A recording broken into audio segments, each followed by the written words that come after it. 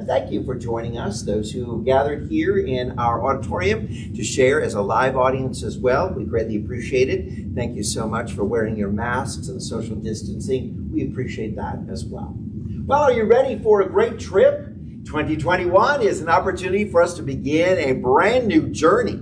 That's right, get ready to go on a trip. And I don't know about you, when you're ready to go on a trip, well, it begins by packing and thinking of all the things that you're going to take. And maybe the most important question is what I'm willing to leave behind. Now, I can remember packing for my very first opportunity to go on a cruise. And I was thinking, of course, I needed all these kind of things to bring them along with me. And so suitcase after suitcase was packed, and I can remember my partner Robert sitting on top of the suitcase as we tried to press it down and lock it. And finally, we realized this is ridiculous. I think the bigger question we have to ask ourselves is not what we're taking, but what we're willing to leave behind. Because I think in life, this is an important question as well as we begin this journey. What, not so much what are we taking with us into 2021 and willing to carry along, but really asking ourselves, what are we willing to leave behind? Because some of those things that we're bringing along, we just don't need and they're not necessary.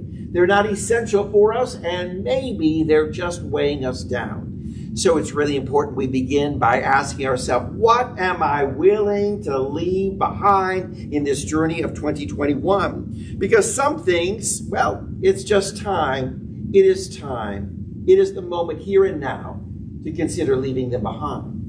Now, in our spiritual journey, we've packed a lot of things in our baggage. We've carried a lot of things along the journey, and many of them have been false, many of them not true in the journey of our life. We've been taught a lot of things that really don't have spiritual truth to them.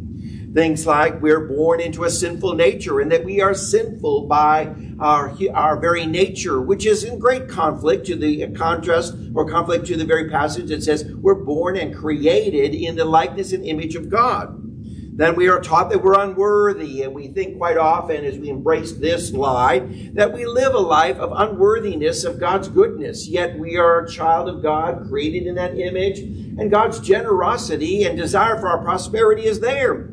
And saying you're very worthy of it all. And we live in a world that constantly teaches us there's just not enough. So we believe and hold on to concepts of lack. And we think, you know, there's just not enough to go around and there's not enough for others and we need to hoard onto our own. And why would we share? And I got mine. They got to figure out their own way to get theirs in this mentality because we simply believe and bought into the lie that there's not enough. We also maybe packed into ourselves the lie that we're separate from one another, that somehow that we live our lives in a world that is not united, that somehow our sector of the planet is far more important or essential than someone else's sector of the planet. Let me tell you, we're all in the same boat. And when you drill a hole in one area of the boat, well, you know what? It impacts the whole boat. So if we just began to realize that idea that we're separate in some way from one another is simply a lie, and it's holding us back in our journey of our life. And the idea that some people are more loved than others, that there's certain communities or certain cultures or certain people or people of certain professions that are more loved or God loves them, in fact, offers more favor to them than to others. How about the lie that God decides who is eternally punished versus the very truth that our decisions of our own are bringing about our own calamities, our own challenges. And this is again, we've been taught all these conscious, these thoughts that invaded into our consciousness that God is somehow a punishing God, that God acts in ways that are actually unloving. Yet we find Scripture saying God is love. Love is what God is.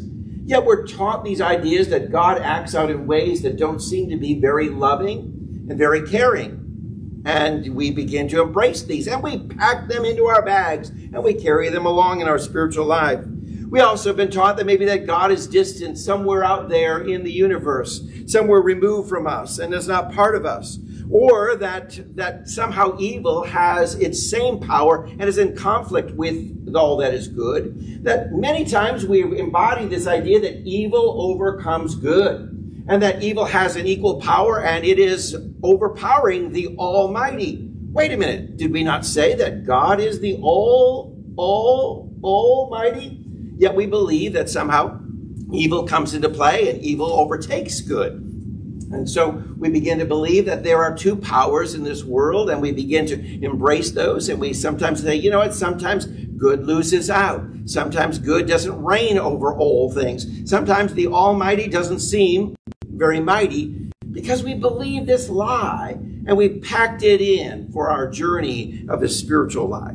We've been taught that living in fear is one of our comfortable places, that, you know, fear is just a normal way of life, and that we need to embrace these kind of fears. Be afraid of things, be terrified of things, be worried, be concerned, be stressed, because everything out there in the world is something to be suspicious of, something to be cautious of. So we need to always look and walk in some sort of step in life of fear that we think that that becomes our norm. How about the teaching that says that, you know what, you'll never be like God? So we resolve to the idea that why even try? Why try to exude the goodness of God? Why try to be and imitate the very essence of the divine? Because we'll never be it, so why even bother? You see, all these things and many more like this, we've been packing into our spiritual consciousness as we walk through the journey of our life. And we see that these are all lies, for many of them have just been uh, propagated over and over again with misunderstanding. And uh, the fact is that we haven't really embraced searching out the truth. That's right. How do we get to these places where we begin to believe lies and we accept them as truth? It's because we don't go to the source. We don't, you know, we hear a thought, we hear a rumor, we hear an idea, and because we don't check it out, we haven't gone to the source. We just begin to accept and welcome the lies that are offered to us. And we just, well, it sounds good. It must be normal. The preacher said it. This person said it. This teacher said it. The news said it, whatever we say. And so we, we begin to embody these things rather than going to the source. And what is the source? God. That's right. So if we were to really be still and know, I want to tell you this. In the silence, it's when this wonderful essence of truth begins to rise up within our life, and we begin to understand what is true and what is not true. It begins to resonate within us. Because in that stillness, what happens for our spiritual life is suddenly the dots begin to connect. That's right. Suddenly all things begin to come together and begin to make sense. So if we say God is love and is always loving, Yet we've got this idea that God is out to make our lives miserable and punishing and uh, making our lives uh, a journey of suffering. How does that connect? But in the stillness, we begin to understand and realize that what speaks for us is that the love of God is there and desiring our highest and best for us. Then we have this idea that we think God is out to send us to hell and punish us for eternity if we don't do X, Y, and Z. And that sort of idea is then a fear based religion that we live out that says you need to be afraid of God because God's going to punish you and, and uh, bestow all kinds of suffering upon your life. And that we, in the stillness, we wait a minute, is that the true essence of God? The love of God? God being love, do I is that something I need to be in terror and fear and stress and worry about? Or do I just rest in the perfect peace that is provided in the comfort of this loving place? We get to these places where we welcome the mistruth, where we welcome and entertain and live from the place of being deceived, because we haven't gone to the source in the very first place. So let's begin to pack for the journey of 2021. And let's do this by packing the essentials. And the first essential we want to uh, pack in our life is understanding truth. That's right, truth. Truth is that which is inter- eternal. It has always been, is now, and always will be. That's how we know what is truth. Now, there is a daily truth, such as you go to a restaurant and the menu says, Today we have lobster. Tomorrow you may not, but today it's true, you have lobster. You may come to the restaurant and say, well, wait a minute, the menu said you had lobster. that was true for one day. It's not eternal truth, it's just a one day truth. But when we're living from the aspect of eternal truth, we find a big difference here. It's something that always was. It's a truth that says this was true years ago, hundreds of years ago, thousands of years ago. It's true right now, and it will be true tomorrow. That's the eternal truth that we want to live by. And so when we understand that, we understand that we pack that into our life, and that's where we begin to live, and that's the essential that we need to take along for our journey.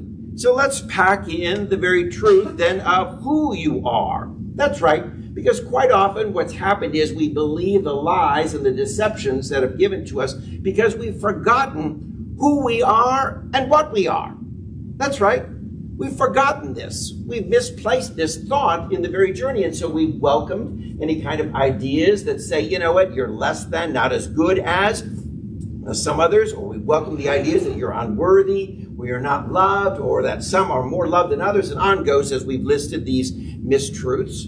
Because we've forgotten that we were created in the divine image and the likeness of God.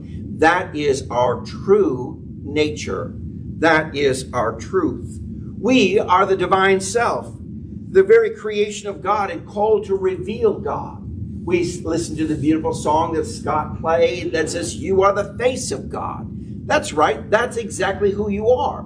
You are the revelation. When we're looking to say, I want to see God, look to one another and see the wonderful revelation of the divine. We see the very demonstrations of kindness and grace and of love. That's the divine. That is God. We're experiencing now this divine source. We're experiencing it when we begin to look to one another.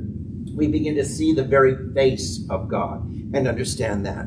So when we understand that we are the divine, we are the divine expression We've got to understand that fully and embrace that fully. So say it with me wherever you may be. Just whisper it to yourself I am the divine expression. I am the divine expression. We need to make that our mantra for day to day living because when we begin to move from that truth, that we always have been the divine expression, we are the divine expression, and always will be the divine expression, we begin to understand that's eternal life. Now we understand what eternal life is. That we've all, we're part of this wonderful life that is of God, this very essence that is God, and God always has been and is and always will be, and we're part of that.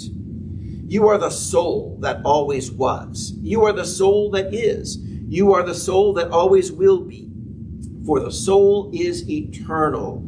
We understand that who we are and what we are. We're the divine expression and we are eternal. And when we embrace these things, we begin to understand how to pack truth into our life and how to live truth because we are this truth.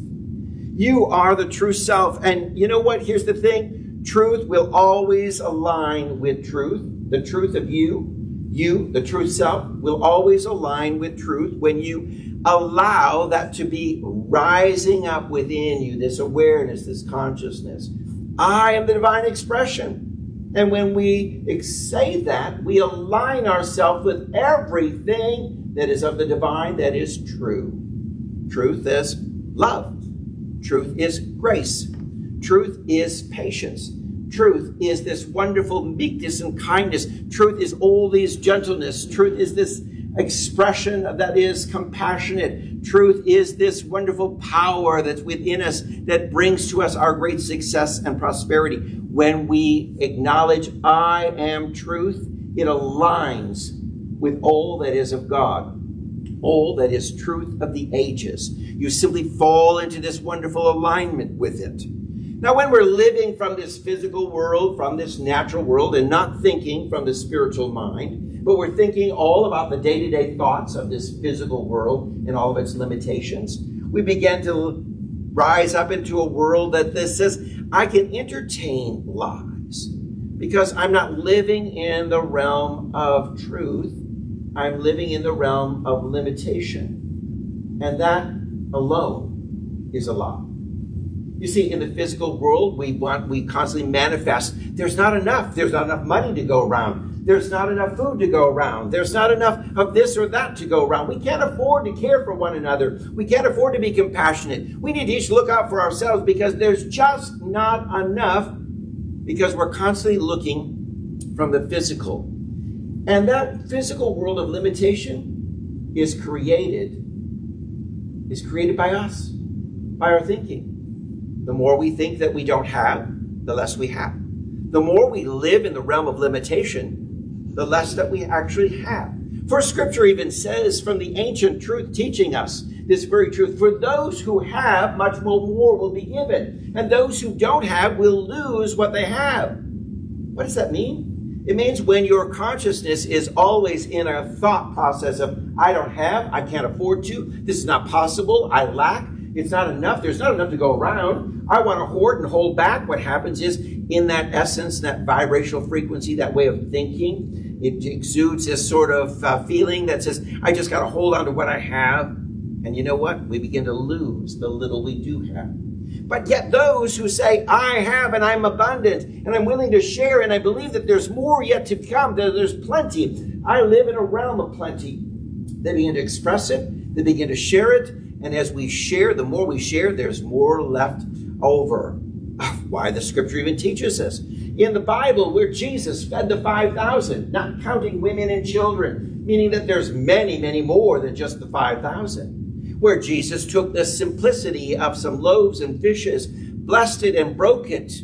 And the world may say, wait a minute, we live in limitation. Jesus, why are you even bothering breaking and blessing these little loaves when there's 5,000, not counting women and children, to feed? How ridiculous that you would even think. But Jesus broke with the very understanding that that which I have from a spiritual perspective is abundant. And in this example of breaking bread, bread and sharing it and breaking the, uh, the basket and uh, sharing it with others, an abundance rises out to say that there were 12 baskets left over after everyone was fed. Wow! Now, if we live in this kind of mentality where we begin to understand this, where we're letting go of everything from the physical and we're now moving into the spiritual because we know that what? What did we say this morning when we opened up our service? We are spiritual beings having a physical experience. We're spiritual beings having a physical experience. Unfortunately, we often think I'm a physical being trying to have a spiritual experience. We get it wrong. It's the other way around. You are this dynamic soul. You are this revelation of God. You are the essence of the divine. You are called to live out exactly and to the T all that the divine is. That means living out this wonderful God of abundance and expressing it every day in our life. Living from that kind of powerful truth. And when we do, that the truth of this abundance that we hold in consciousness, it becomes a revelation all around us constantly. So we begin this year by operating as truth, saying, I operate as truth, as what has always been and always what will be. Now the scripture says, you shall know the truth and the truth will set you free. That's true. That's beautiful. That's powerful. That's amazing. When we stop to think, wait a minute, if I really embrace these truths, it's liberating me. It's setting me free from the bondage and the chains that have been holding me back.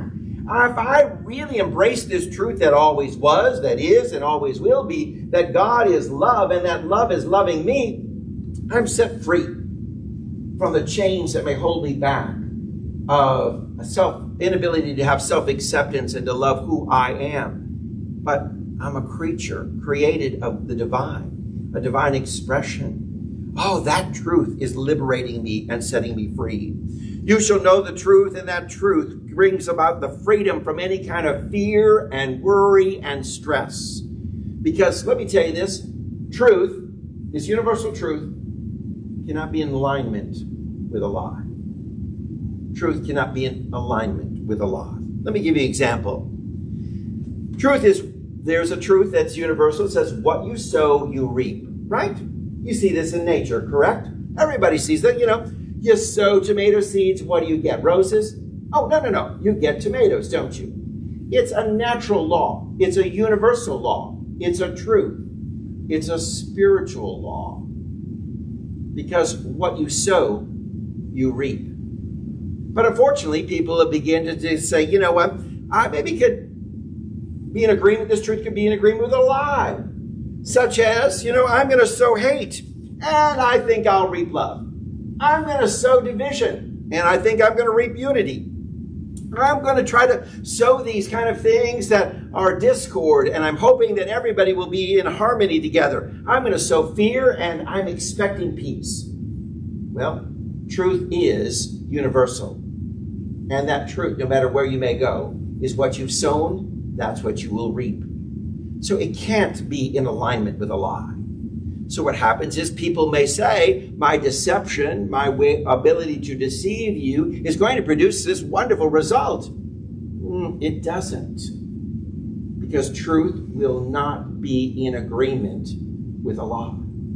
So if you're telling someone uh, words of fear and you're expecting to bring together people in harmony and peace, it won't happen because the spiritual law is at work and it will not be in alignment or agreement with a lie. For what you truly are is this truth. And to live authentically means that you live in the same vibration as truth. That means the same awareness, the same feeling. You know, every thought has a vibration to it. Do you really understand that? Thought is energy and it's moving throughout the world. And we are surrounded right now in this room by an immense energy. There's an energy of consciousness, an energy of thought going on. And that thought is very creative. And when we begin to embrace this vibration of thought and we come into alignment with it, well, what happens is we're living authentically. Authentically, because we're living aligned with the truth of God that always was, always is, and always will be. And that's who we are. We are living as truth. And when we come into that place, that's when you've reached authentic living in life. To live in this way is to live in one accord. How many of you remember that passage of scripture from Acts chapter 2, verse 1 that says, And when the day of Pentecost came, and when they were all in one accord. No, that's not a Honda car. I'm sorry if you've been thinking about that. Uh, it is actually to be in accord Accord, let's just break down what would it mean to be in accord? Well, think about music. A chord of music is what? Several notes resounding together in a vibrational frequency that creates a harmony. You see, to be in accord are these beautiful musical tones that come together and they correspond in vibration with one another. And if we're going to be in accord with the divine, we're going to move our vibration, our thinking into alignment with that which is truth, that which resounds through the ages, that which will stand the test of time, that which is eternal. Now, we've gone through the ages in our spiritual life and we've seen gurus and teachers teach fear, and rise, fear rising up within the movements of spiritual traditions and churches and denominations, and then move away. We found people who've been teaching certain things that, you know, just don't have uh, ability to stand the test of time. And yet, what we find is when we hold on to truth and we test it and we go deep within to the divine source and say, God, is this the truth? Truth resonates within us and it rises up and it begins to connect all the dots. Things begin to come together beautifully for us. The truth is that all things are working together for good. And I love this because this kind of perspective helps us see that truth is at work at all times in everything. And I don't care what's going on in your world, everything's happening for good. Really, you may say. We've seen some catastrophes. We've seen calamities. We've seen challenges. We've seen all kinds of things happen. You're telling me it happens for good? Well, let me see this. That this past week we saw miracles unfolding as we began the year of 2021. This is a year that really has been a, a powerful message for our lives. Because what we firmly believe in the spiritual truth of love and how it grows and expands is that in that journey, everything unlike love will always rise to the surface for the purpose of healing. So if you're seeing things or experiencing things unlike love, it's rising, it's coming forward. It's coming forward for the purpose of healing. And let me tell you this until it rises up, you can't heal it. If you keep pushing it down, if you keep suppressing it, saying, I'm not going to deal with this, I don't care about it, I don't, I don't want to listen to it, I don't want to address it, what happens? It stays there, doesn't it?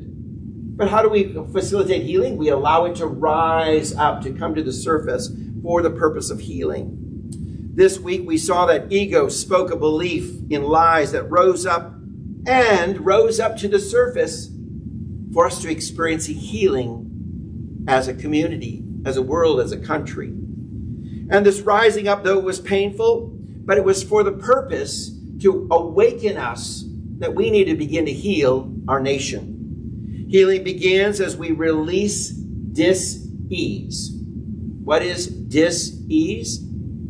It's when we are uncomfortable, when we are fearful, when we allow anger, when we allow ego to rise up, when we allow these things to come up in our world, when we allow them to be entertained. They're rising up, but they're rising up for a divine purpose. Wow, already in 2021, this is the year of healing. We're seeing things rising up within our nation for the purpose for us to directly address and to see and experience this wonderful healing. And when we unpack the lies that we are meant to live in a world of fears that is suspicious and constantly seeks out division and separates us, when we awaken to this, we can heal it. That's right. When we awaken to it, we can heal it.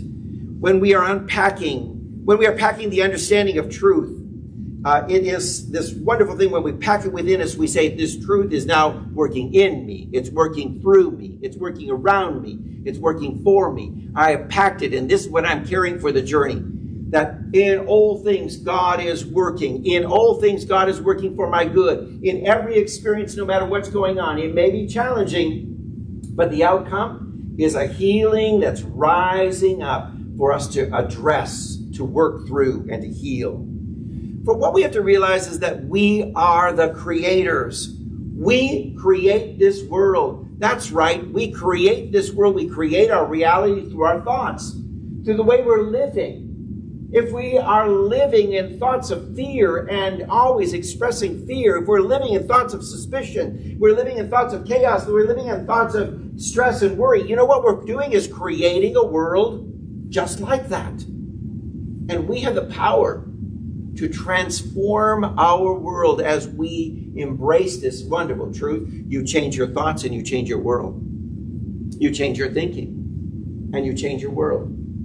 You change how you look at things and everything around you changes. So, what is so important is we understand is that we don't need to repeat history. We need to transform each day.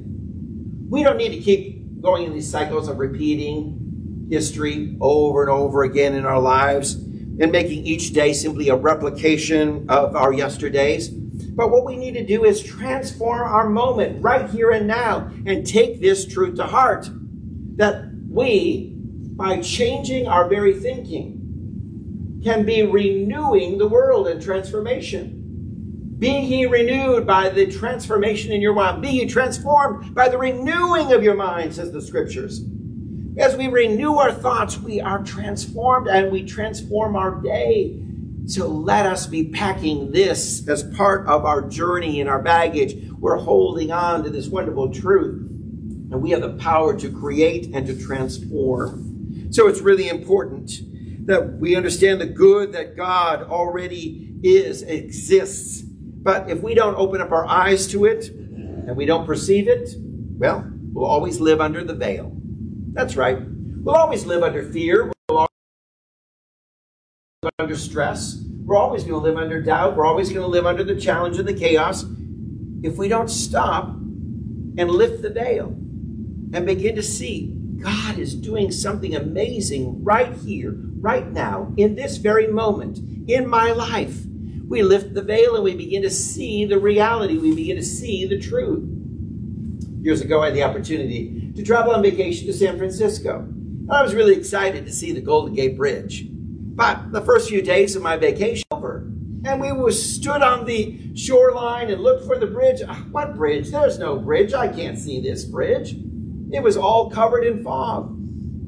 It was like, wait, wait a minute. We came here on vacation to see this, and we can't see it because of the fog that's covering it. So when the weather changed and the fog dissipated, and began to lift. Suddenly, the grandeur of the Golden Gate Bridge was our revelation. Wow, okay, it is true. It's gorgeous, it's beautiful. You see, This is the journey of our life. When we begin to say, I want to lift the veil, the fog that's over everyday experiences that I'm going through. And all I can see is fear, doubt. And I'm suspicious and wondering and questioning, and I am just uh, looking and seeing a world that is to be afraid of. Instead, seeing God is doing something amazing right here, right now in my life, in this moment. For everything I'm going through right now is for the purpose of healing.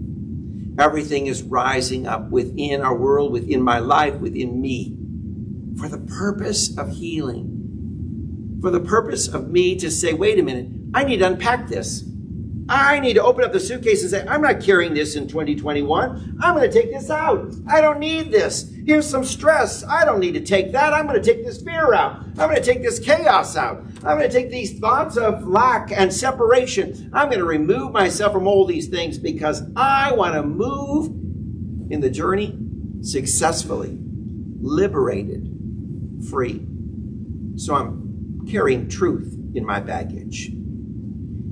Question is, as we travel on our trips, not so much what are we taking, but what are we leaving behind? And let me tell you this when you found out what you're leaving behind, what's left are the essentials. What's left is what you really, really need. So, as we begin this new year and an exciting journey, we're going to travel together and we're going to go to some amazing places in our spiritual life in our spiritual journey. I don't know about you, but I'm excited because I've already felt this power of God at working in this world and ex- expressing all kinds of miraculous energy that's ready to be unleashed without this year. And it's there for you if you're willing to perceive it, willing to see it, willing to welcome it.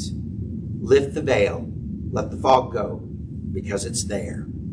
So get ready for an exciting year and let us be people who have packed for a successful journey.